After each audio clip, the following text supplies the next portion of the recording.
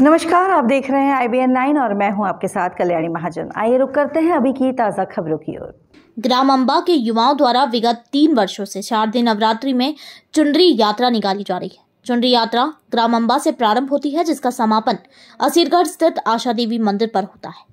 चुनरी यात्रा में शामिल अम्बा के पवन बर्डे ने जानकारी देते हुए बताया कि क्षेत्र की सुख समृद्धि एवं खुशहाली के लिए हमारे गाँव के युवाओं द्वारा तीन वर्षों से चुनरी यात्रा निकाली जा रही है।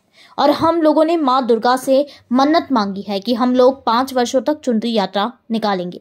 आज हमारी चुनरी यात्रा का तीसरा वर्ष है। अम्बा से असीरगढ़ आशा देवी मंदिर तक 40 किलोमीटर की चुनरी यात्रा में सैकड़ों युवा शामिल हुए और माँ आशा देवी मंदिर में मत्था टेक क्षेत्र की खुशहाली की मनोकामना की।